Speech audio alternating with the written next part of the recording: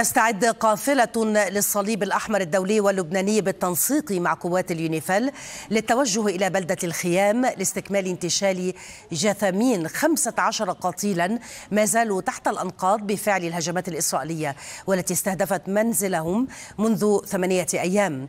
يذكر أن الصليب الأحمر كان قد انتشل خمسة قتلى منذ يومين إلى أن عملية رفع الأنقاض احتاجت إلى آليات أكبر. من بيروت تنضم إلينا مراسلة الحدث غنوة يتيم ومن الحدود الشمالية الإسرائيلية ينضم إلينا موفد الحدث رائد الأخبر أهلا بكما أبدأ معك غنوة مساء الخير.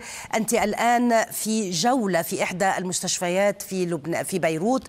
نتعرف منك على الأوضاع فيما يتعلق بالقطاع الصحي.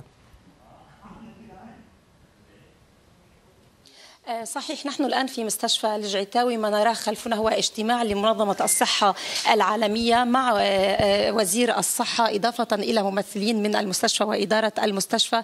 هذه المستشفى هي واحدة من مستشفيين في لبنان يقوم بمعالجة الحروق فقط وخاصة أمر معالجة الحروق اشتد يعني الحاجة إلى أقسام لمعالجة الحروق في لبنان اشتد بعد الحرب خاصة بعد تفجيرات أجهزة البيجز. والآن أيضا وصل منظمة منسق الأمم المتحدة للشؤون الإنسانية عمران ريزا للانضمام إلى هذا الاجتماع وإلى هذه الجولة.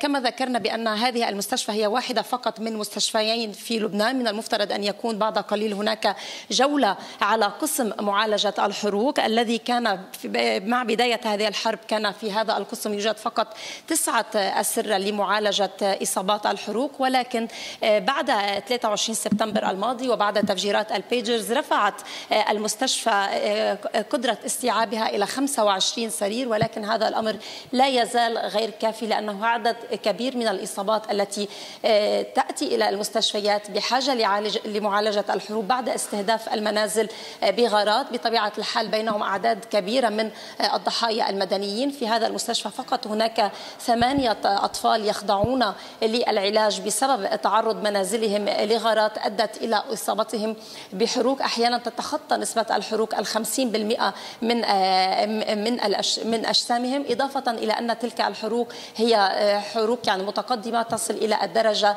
إلى الدرجة الثالثة. وأحيانا المستشفيات في لبنان خاصة هنا حيث نقف يعني يكون بحاجة إلى الاختيار بين المرضى بحسب يعني سوء الحالة نظرا لعدم وجود الأقسام الكافية كما ذكرنا لتلك الحالات في لبنان.